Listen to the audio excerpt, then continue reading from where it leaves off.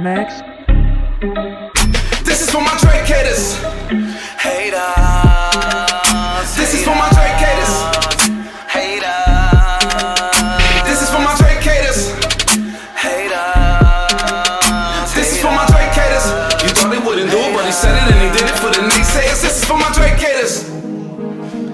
Me talk to him for a second. Shamegga. Uh. I ain't a fan, cuz I'm refereeing, I can see it, I'm a fair judge. I'm in the league, my PhD under the same rug. Just in a different lane, we ain't got the same plug. From what I see, me ain't got much to say to a nigga. I don't know why he even came at a nigga.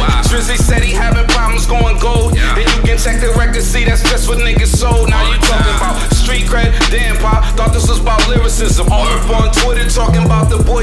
When he dropped the pen on you, you want your street membership. Most of your rhymes was a skit. How you gon' end this shit?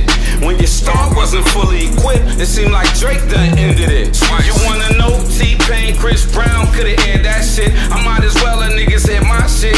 I'm just trying to find a way to keep it fair, that's it. People too worried about his childhood to hear him spit. I know he don't need my defense and probably won't even notice. But this for any other rapper trying to get to the podium. I'm tired of everybody so I wrote me a poem. It's my opinion. Shamegga saying Drake too old on him. Yeah, word, what, like, Oh, yeah, man. he got that. Oh man, I Like, don't I'm know. listening to the lyrics. I don't know, man. That nigga, that nigga Meek Mill street, man. He a street nigga, Everybody man. talking about the streets and all this other I shit. don't Now we talking Mill's about gonna lyrics, bro. that nigga, Yeah, I know he was talking about right music, now, though. I I mean, the don't guy know, yo. said that shit, He doesn't write his own shit, my nigga.